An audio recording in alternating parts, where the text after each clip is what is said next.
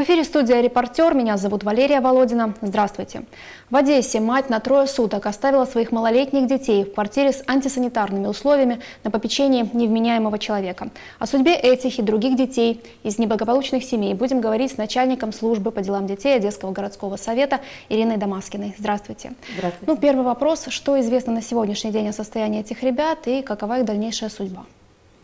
Э, на примере этих детей я Э, проговорю всю ту процедуру, которая проходит в том случае, если мы, э, если мы находим тех детей, которые остались без родительского попечения. В отношении этих детей 18 октября сотрудниками полиции было сообщение направлено в наш территориальный отдел.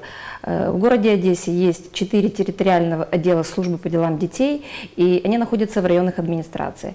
И территориально они близко находятся, и э, незамедлительно наш сотрудник выехала э, по адресу указанному, это Днепропетровская дорога 96, и действительно были э, дети, трое детей находились в возрасте э, 3, 3 года, 2,5 и полтора.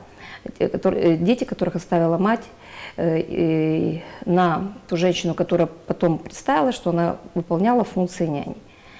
Эм, по той информации, которая на сегодняшний день э, мы в правоохранительных органах интересовались, личность детей установлена, личность матери установлена, личность хозяйки квартиры установлена. Э, эти женщины вели антисоциальный образ жизни, эм, поэтому вопрос возврата детей этой матери, он достаточно будет э, стоять, достаточно конкретно будет стоять и достаточно будет сложным сам процесс. Потому что э, мама уже прошло более двух недель, мама э, в службу по делам детей по вопросу возврата детей не обратилась. Э, поэтому уже первое впечатление, что да, уже сложилось то впечатление, что судьба ее собственных детей ей неинтересна. Эм, что действия нашей службы по социальной защите этих детей следующие. Мы э, личность установили детей, мы заказали э, в отделе государственной регистрации граждан э, оригиналы свидетельств о рождении, мы уточняем информацию об отцах этих детей, определенные справки заказали. После того, когда будет информация нам предоставлена, мы будем э, ходатайствовать об определении детей до трех лет, это двое детей, они будут определены в детский дом, а э, буквально к концу недели уже в отношении э, ребенка, который старше трех лет, он будет переведен в Центр социально-психологической реабилитации, э, который действительно выполняет вот функции и по реабилитации, и временному пристанищу детей, которые оказались без родительского попечения. Ну, к сожалению, в последнее время все чаще мы узнаем о таких случаях. Вот как вы думаете, в связи с чем это связано? Одесса достаточно сложный вопрос, э, сложный город вот в этом вопросе. Почему? Потому что нам на службе очень тяжело контролировать. Э, город, в котором постоянно э, большое количество людей мигрирующие, то есть приезжают люди на заработки, э, приезжают люди, в большинстве слов это из э, Одесской области, которые э, хотят либо устроить свою жизнь, либо э, какие-то средства к существованию, они либо э, связываются с, такой же группой, антисоциальной группой, э, снимают у них квартиры, доверяют им собственных детей, либо, как случай показал в Киеве недавно, мама снимает квартиру, оставляет детей и, э, в общем-то, э, не выполняет должным образом свои функции родителя. Ну, ваша служба осуществляет рейды да, по таким неблагополучным семьям. Вот как часто это проходит, в какой форме это проходит?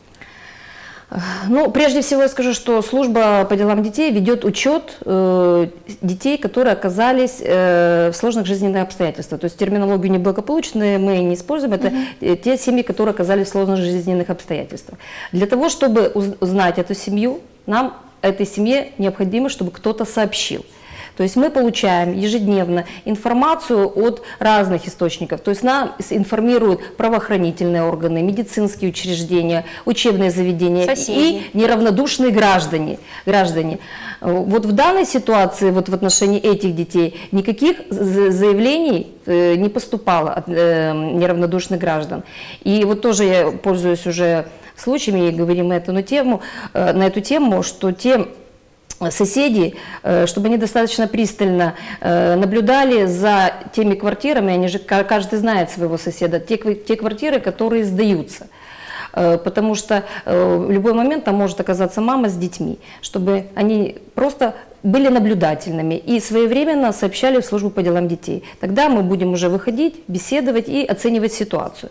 Но вот в отношении рейдов – то есть, когда нам сообщили, у нас есть плановые рейды в четырех районах, да, э, в, четырех, в зависимости от того количества информации, которая к нам поступила. Они могут быть и, и, и э, два раза в неделю, то есть в зависимости.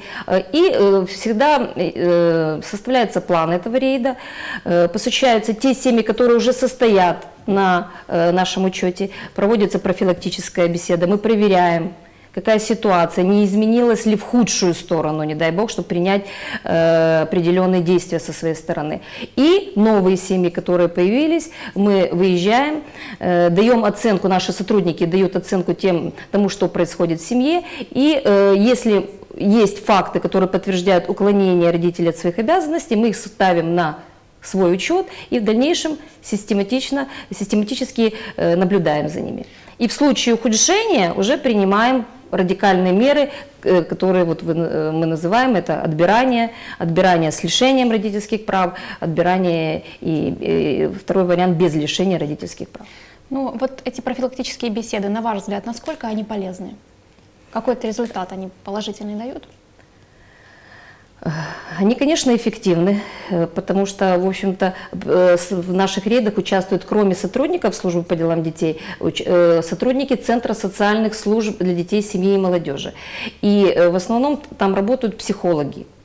И э, когда приезжает и сотрудник службы, который, в общем-то, больше э, достаточно жестко разговаривает, потому что есть, есть какие-то факты невыполнения, то есть мы жестко указываем, у нас наша такая работа, то сотрудники Центра социальных служб, они пытаются э, эту проблему помочь решить. То есть они анализируют, какая проблема в семье, э, или трудоустройство, или еще какая-то психологическая помощь. Они предоставляют свои социальные услуги. А на основании чего сегодня можно лишить родительских прав? Ну, это регламентировано Семейным кодексом, статья 164. Эм, наши отношения – это крайняя мера, поэтому э, те разговоры, которые ходят о том, что лишаются родителей очень легко и так далее, это достаточно сложный процесс. Окончательное решение принимает суд. И статьей 164 семейного э, четко прописаны все эти случаи, в которых Конечно, основной вопрос – это уклонение от выполнения своих родительских обязанностей.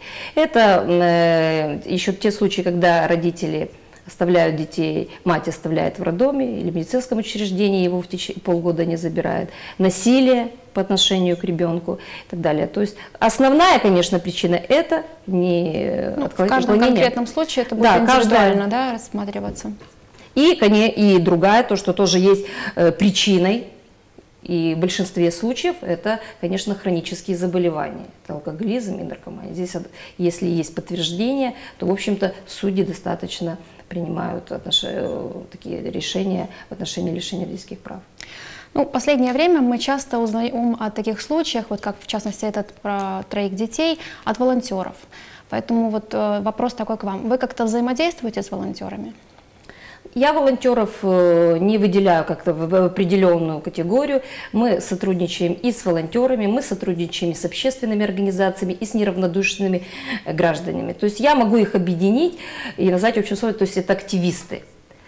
Э, ну, в общем-то, у нас разные взаимоотношения. Мы живем в одном городе, мы друг друга знаем, мы э, каждый понимаем, кто какую функцию выполняет.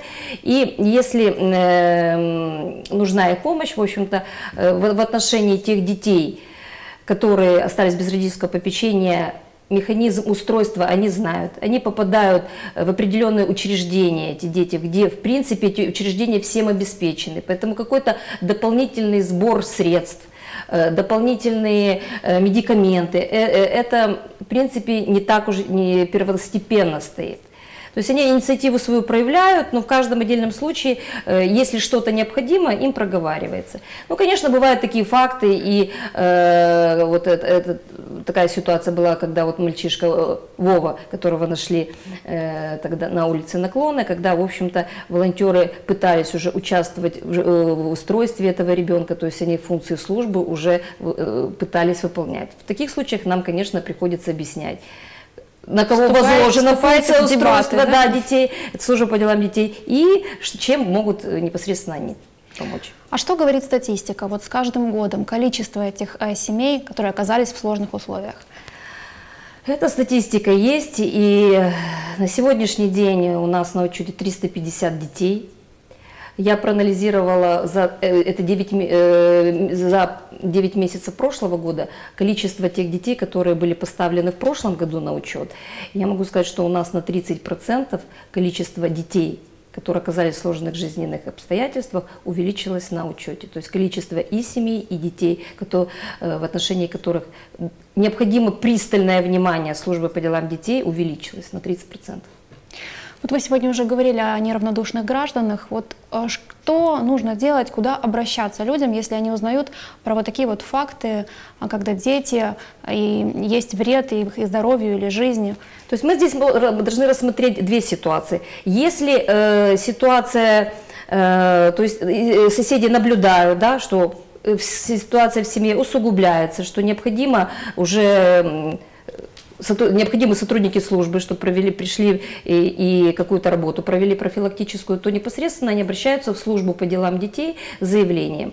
И э, около 30% заявлений у нас поступает именно от неравнодушных граждан. Мы выходим, э, проверяем ситуацию. По статистике могу сказать, что за 9 месяцев мы получили 560 обращений, э, где тем или образом указано, что родители не выполняют свои родительские обязанности. Э, и только в 210 случаях ситуация подтвердилась. То есть бывает это То есть ложные вызовы, да, да? ложные, а какие именно ложные? Это, к сожалению, детей э, используют между собой, когда родители какие-то имущественные споры, когда они могут достаточно цивилизованно развестись, решить какие-то свои имущественные вопросы. И когда есть квадратные метры, есть соседи, и идет война в частном секторе за какую-то определенную территорию. После того, когда мы проводим определенную проверку, э, мы просто видим, что действительно причины были обращения именно эти – а если вот на сегодняшний день есть неравнодушные граждане, которые хотят помочь э, детям, которые оказались в сложной ситуации, какие законные способы существуют? Вот я имею в виду опека, патронат. Ну, помочь неравнодушные граждане. Эм, даже пример вот этих детей, Э, показал, вот э, э, эти трое детей, они на сегодняшний день находятся в инфекционке, то есть я еще не проверяла, что все дети, которые какое-то по состоянию здоровья, например, какие-то медики, ну как, опасаются за их здоровье, за их состояние, и дети до трех лет мы определяем в инфекционную больницу. Дети старше трех лет мы определяем наш центр социально-психологической реабилитации. И у нас отсутствует Э, и я уже об этом говорила неоднократно, отсутствует э, нереализованное право детей, которые оказались в сложных жизненных обстоятельствах, на семью. Их право они не могут реализовать, потому что у нас отсутствует и нет, и не созданы на сегодняшний день в городе патронатные семьи.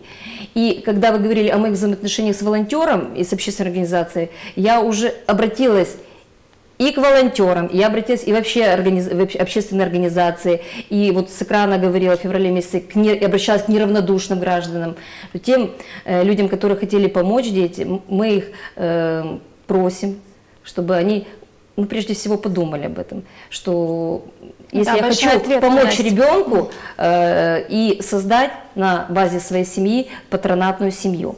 То есть это семья, которая будет на работе у государства, которая будет получать зарплату, будет получать социальную помощь на ребенка. И в том случае, если дети оказались в сложных жизненных, оказались без родительского попечения, и нам надо вот сегодня их определить, мы будем их отвозить не в инфекционную больницу, а мы будем в эту патронатную семью. Ну, там есть ряд определенных требований, требований да. Угу. Поэтому обращалась ко всем, которые особенно критикуют, что вот такой наш чиновничий да, механизм и система государственного устройства. Но на, на сегодняшний пока не обратилась ни одна пара э, по вот вопросу создания. А Одессе такие семьи необходимы.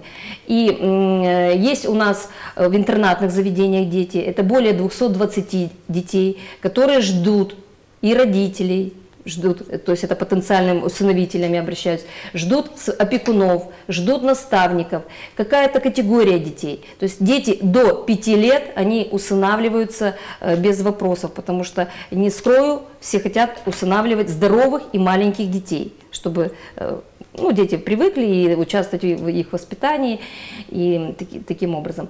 А те дети, которые старше 10 лет, те дети, которые имеют братьев и сестер – вот пока такая ситуация, что очень сложно им подобрать усыновителя, опекуна и наставника. Ну, будем надеяться, что таких людей будет появляться Я думаю, больше. что я к одесситам обращаюсь, много неравнодушных, и чтобы э, к нам э, почаще обращались и все-таки подумали о той возможности, Которая а чем есть. могу помочь я.